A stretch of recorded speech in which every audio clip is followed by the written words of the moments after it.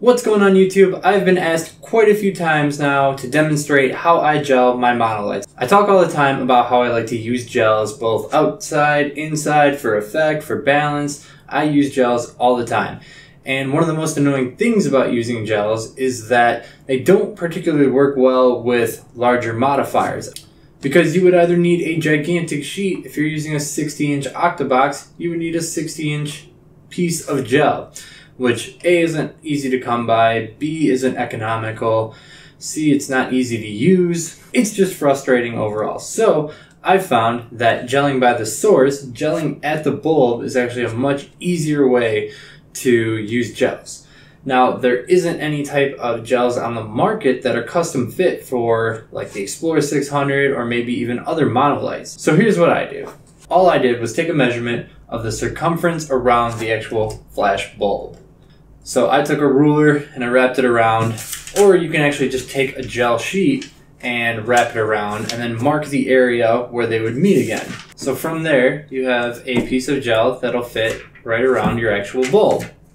Now there is a glass dome protecting from the actual flash tube that you don't have to worry about getting too hot.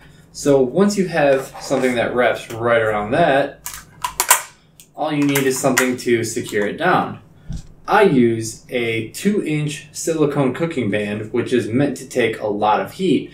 So that way, even if it does get really hot if I'm using it at full power, I don't have to worry about the band exploding and the gel falling off. The one thing that I make sure to do is to not cover up these holes on the bottom because that's where the heat escapes. So you still want to leave that little pathway. But I gotta tell you, I've used this at full power and I have had it slide down on me where it is covering the holes and I still didn't have any issues with gels melting or anything like that. Now, I do make sure to leave it substantially longer than the actual bulb. And that's because this is an omnidirectional bulb. The power is going to come out the sides as well as the front. The more length you have from the gel, the more of that light is actually going to turn the color. Now it does leave that hole in the center. So this is the way I've been doing it for a long time. However, there might actually be a little bit better of a way. A friend of mine named Bryan Troll actually sent me some gels that he made that are actually going to work a lot better than the design of mine, and they're going to eliminate that problem of the open area where white light is still going to get through. You guys might remember Bryan, he was actually all over photography blogs earlier this year when he made a working Nikon camera Halloween costume. He was actually in a gigantic Nikon body that actually functioned and took photos. It was pretty cool. Um, I'm going to leave a link to that story in the description if you guys want to check that out if you haven't heard about it. But Bryan sent me some custom cut gels of all different sizes. As you can see here, they're more of a cross shape and he even labeled them, all the different CTO and everything. Now if we take one of these cross shapes and we go right over the top, use again, nice strong silicone cooking band, bring it down over the bulb, this one's a little bit more finicky to put on, but once you get it on, there we go.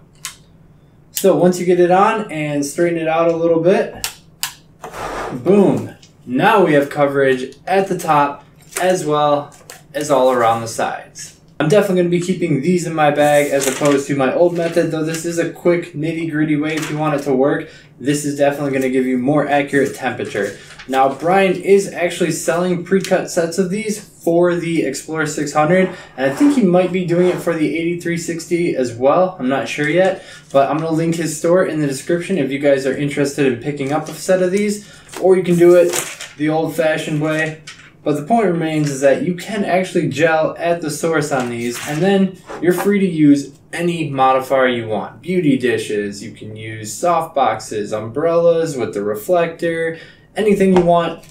Your whole mount is still accessible and there's no gels flapping around, there's no partial coloring. This is definitely the ultimate solution in gelling your flash and having it fit perfectly and getting really accurate control of your flash in any circumstance. If you're working with a different light, do it at your own risk, but I've tested this at full power quite a bit and never had any issues. The gel as well as the band, they're heat resistant, especially to the temperatures that this glass gets to. Thank you so much for watching today's video. I hope it helped you out. Please like and subscribe if you want to see more and comment with any questions. Follow me on Snapchat for behind the scenes, Twitter for deals on photography gear, and Instagram to see my work. Lastly, I have a Facebook group as a discussion forum which is linked in the description.